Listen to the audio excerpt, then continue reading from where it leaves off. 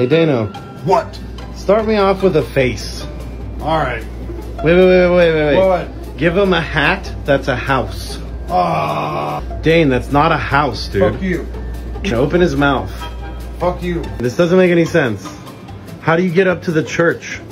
Ah, it doesn't. Oh, fine. Now I want a candle. What the fuck? No, no, no, the candle is also a hat.